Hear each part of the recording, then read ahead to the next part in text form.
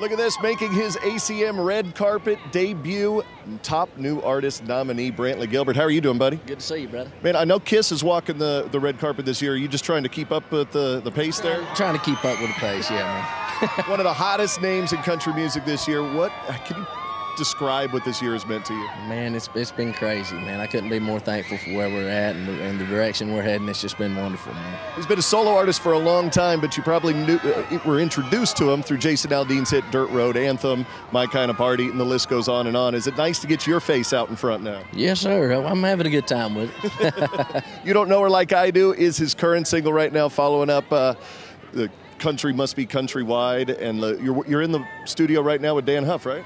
Uh, we're going to be uh, heading in soon. Cool. Producer Dann Huff, brand new project. Excited to get that going? Yes, sir. Definitely. Well, enjoy it, and uh, I think you could pass as a member of KISS. Brantley Gilbert.